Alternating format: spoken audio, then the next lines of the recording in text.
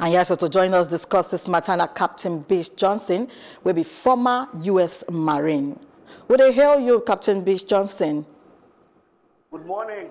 Good morning. Uh, you fit tell us the situation where they're on ground now for National Assembly concerning this matter? Well, right now, I am not yet at the National Assembly right now. Mm. I'm on my way to the National Assembly. Okay. But I was there uh, last Friday Mm. uh, when the committee um, invited uh, the Minister for Niger Delta Affairs and also a warrant of arrest was issued for the acting management director of the NDDC. Okay. I was uh, a witness in that probe on behalf of uh, my NGO, the Niger Delta Youth Development, uh, Niger Delta Youth Forum. Okay. Uh, so we presented our our evidences to the probe, and uh, since that day I have been following up the entire probe. Okay. So, um, but you don't see uh, Senator Godswill Akpabio within the assembly complex of the assembly, and since this matter started to the Shelley?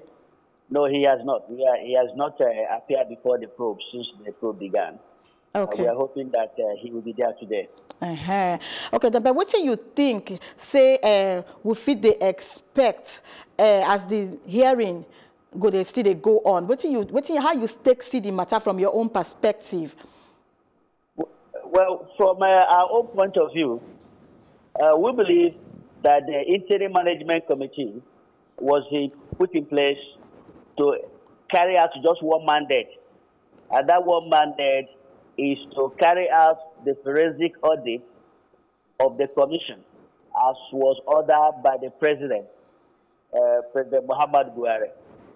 Now, the interim management committee got there and began to do other things that were outside their mandate. Okay. And in so doing, they disregarded due process, they violated various rules and regulations of the commission, and a lot, lots of contracts were awarded, payments were made without due process, and nothing to show on ground for the huge amount of money that was spent. Okay, um, sorry, Captain, obvious- Captain Bish. Uh, Yes. Sorry, Captain Bish. Um, for the rest of the answers where you go give me, I would like make you speak am for pidgin English so that all of us will go hear you well. Because since No, we just they try, they try, but our ear no, they really they hear the English where you they blow they give us. And but in as much as we still they uh, uh, appreciate them, but we want to make you just give us this rest of the information on top Well- of Ogbonge well- pidgin, make we understand you clear, clear. Well, I was very clear to your producer Okay. that I don't know how to speak uh, broken English. Mm. Um, I, I was very clear to him.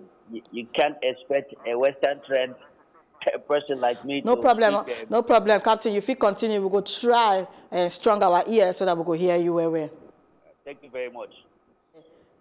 Okay, so what we expect is because what is very clear right now from the revelations uh, in the course of the probe is that between January of this year and May of this year, Mm. that 81.5 billion naira mm. has been spent by the interim management committee. Okay. So, of various items mm. which they claim, uh, so we expect them to take questions and provide answers on how they manage the 81.5 billion naira in question. Okay. All right. Thank you so much for all this Ogbonga information where you summer give us. Um, you too much and make you go hear the hearing well, well, so that we go still get more information from you. Make you get better day. Thank you very much.